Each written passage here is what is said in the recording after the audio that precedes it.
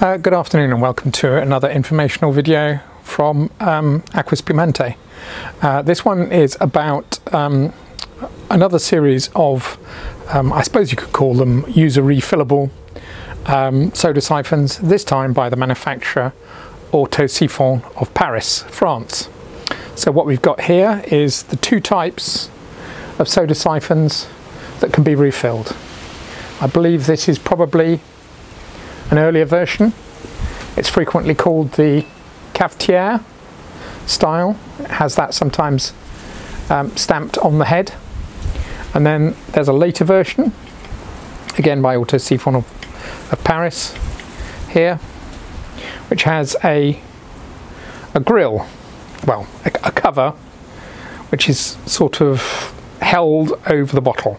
Bottle underneath is a slightly different shape and this was presumably to as a safety feature so that if the bottle got broken when it was dropped or something like that the the pressure of the gas inside wasn't flinging um, fragments of glass around potentially um, uh, injuring people or the cafe um, users. So we've got here both of these have been filled up with water. Um, on this one there is a band a wider band there with the word limite on it and that's for the maximum level.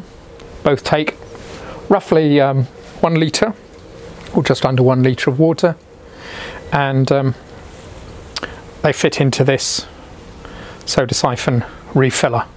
So what we'll do now is we'll just screw the, the heads down and then we'll try these out in the soda siphon refiller now this has been um, uh, partially re-engineered. It's in the process of being re-engineered. We're trying to use as many of the original parts as possible, but this was originally designed for a slightly different size of carbon dioxide capsules. These are the, the ones that are modern and pretty easily available. They're standard, used widely in, in the bar and hotel trade for making soda water with modern siphons.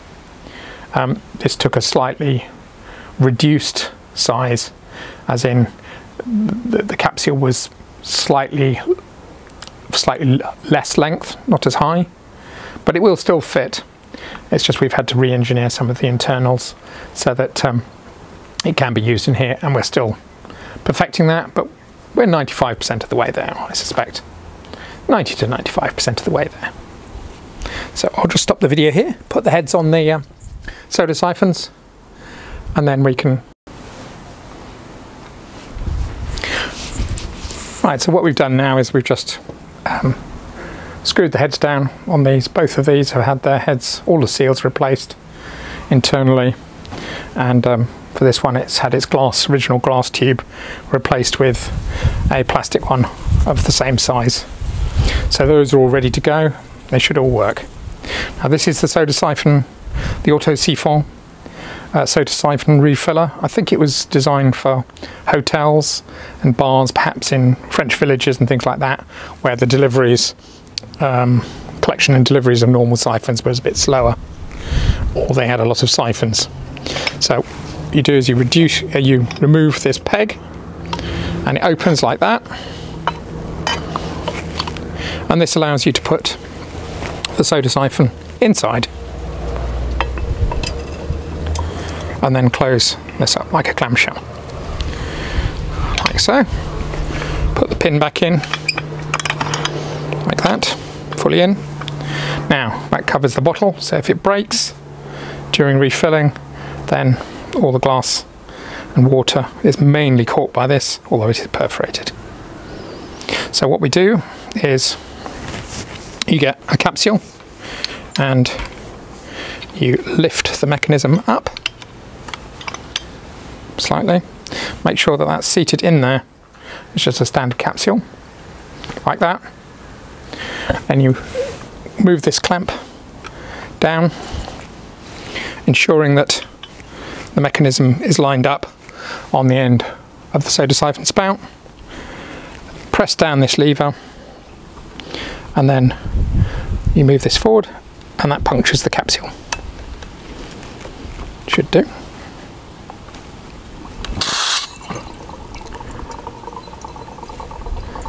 There we are.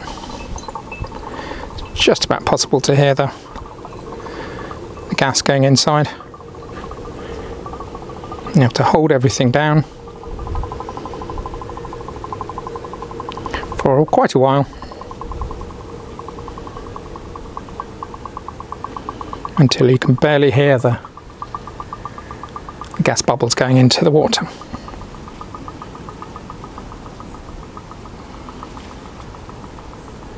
Now I think if this was being used normally at this stage you'd try and shake it but it's not fully aligned and set up. So this is um, there needs to be a few adjustments made before that will work. And then you re release the arm on the soda siphon and then allow that to come away. And that's the excess gas escaping from within the mechanism.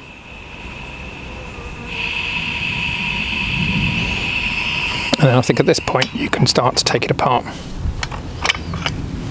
There we are.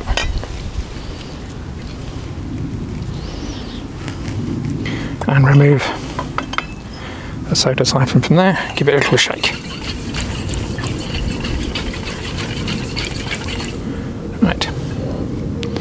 So, there we are. Now we can get a glass, which I have conveniently got here. And uh, show you that actually it has filled it.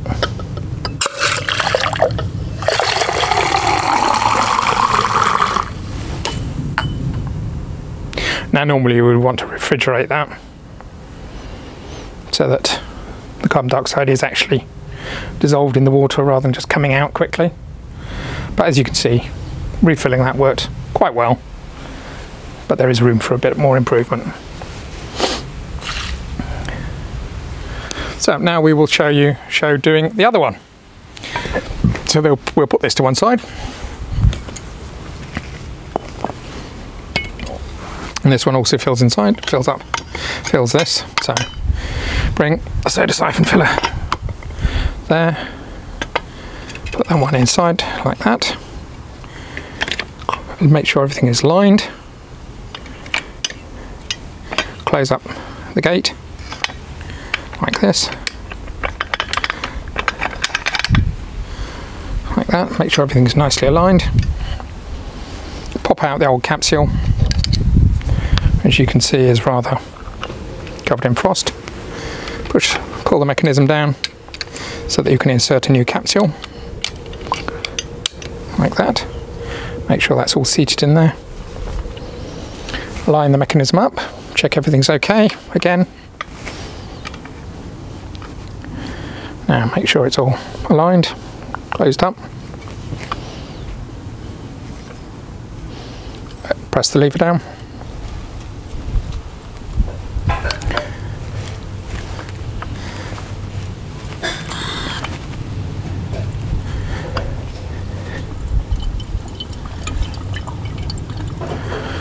This one doesn't seem to be really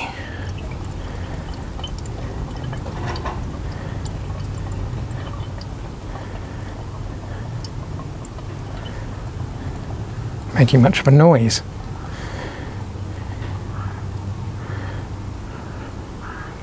Not quite clear why.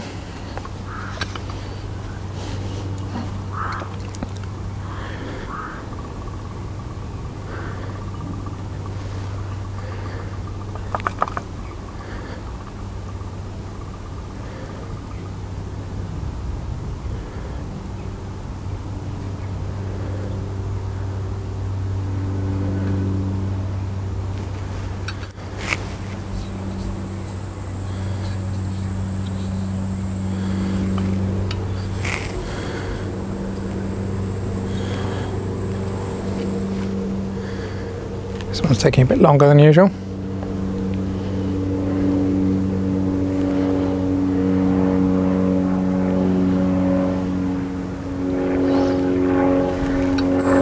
Okay, now let's see if we can release the pressure.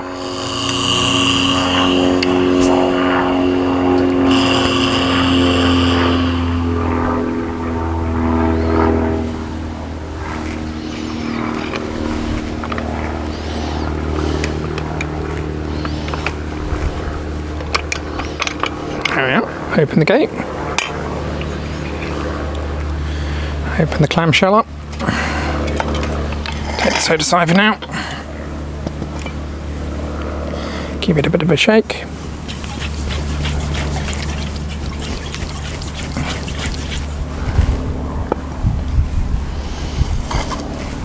And we can reject the eject the capsule here again.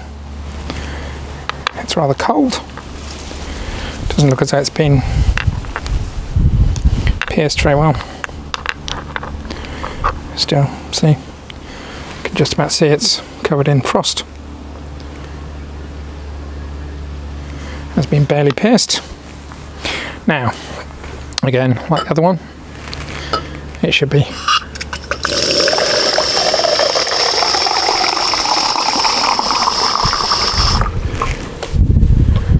There